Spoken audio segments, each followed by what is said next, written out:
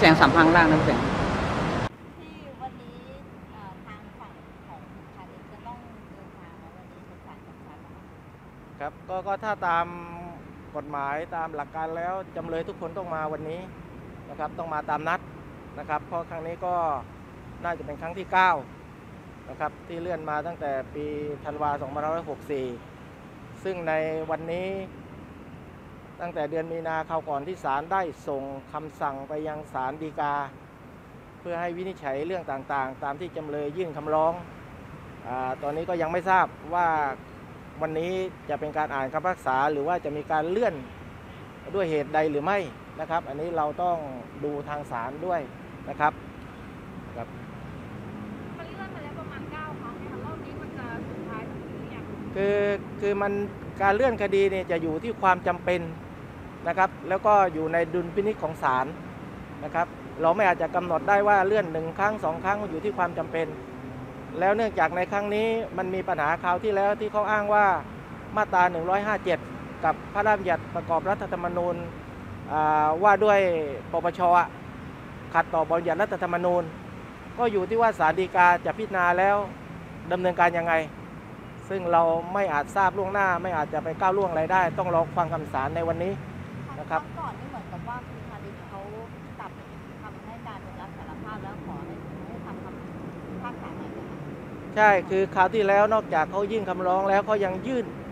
ขอกลับคำให้การที่จากปฏิเสธ เป็นคำให้การรับสารภาพ ในชั้นฎีกา ซึ่งทางทนายจำเลยเอ้ยทางทนายโจทย์ทั้งสองนี้ก็ได้อ่าชี้แจงต่อศาลกันแล้วว่าการมารับในชั้นเนี้ยมันไม่ได้เพราะมันล่วงเลยเวลาตามกฎหมาย นะครับ แต่ทั้งนี้ทั้งนั้นก็ต้องอยู่ในดุลพินิจของศาลฎีกา ว่าท่านจะอ่าใช้ดุลพินิจยังไงนะครับแต่ปกติแล้วศาลฎีกาจะใช้เวลาพิจารณานานไหมคะ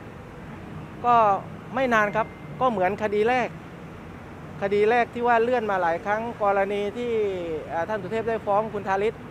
ก็มีการเลื่อนหลายครั้งแบบนี้จนศาลฎีกานัดไปอ่านที่ศาลฎีกาเอง ในคดีนั้นเราก็คงจำกันได้อยู่นะ ว่าที่ศาลให้จำคุกหนึ่งปีอะ นะครับ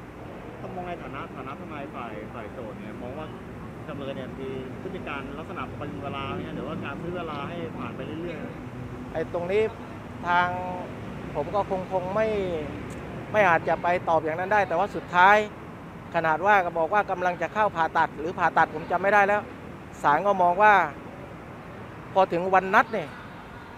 จะมีพฤติการป่วยมีอะไรตลอดศาลว่าเป็นการประวิง อันนี้คือพฤติการของศาลนะเอ้ยไม่ใช่พฤติการของศาลตามที่ศาลเคยมีคำสั่ง ส่วนตัวผมก็ก็คงออกความเห็นไม่ได้ในเรื่องนี้ แต่เราก็ได้โต้แย้งไปว่าการกระทำอย่างเนี้ยน่าเชื่อว่าเป็นการประวิงเหมือนกันนะครับบัลลังก์ไหนคะพี่วันนี้น่าจะ 902 นะครับ แล้วเดี๋ยวหลังจากศาลเสร็จสิ้นการพิจารณาหรือว่ามีอะไรเดี๋ยวก็จะมาแจ้งข่าวให้พวกเราทราบกันอีกครั้งหนึงนะครับต้อง รอฟังว่าศาลว่ายังไงเพราะถึงไปศาลฎีกายังไม่มีใครรู้ อ๋อ หลังจากครั้งก่อน